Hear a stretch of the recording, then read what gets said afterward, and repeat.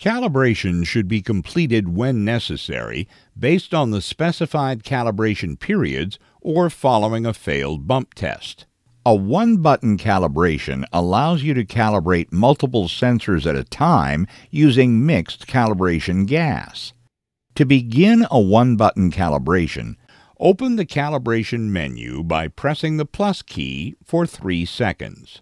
Enter the code by pressing the plus button to enter the number and the OK button to advance to the next digit. The factory default password is 001.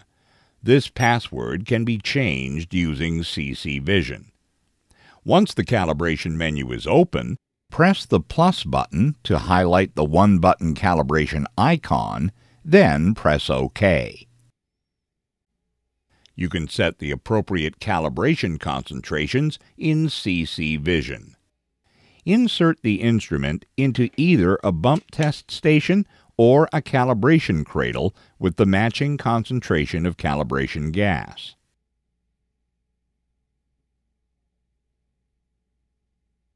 Once the readings are stabilized, OK should appear on the display. Press the release button on the cradle to remove the instrument. Press the OK button to return to measuring mode, then press OK again to acknowledge any alarms that remain.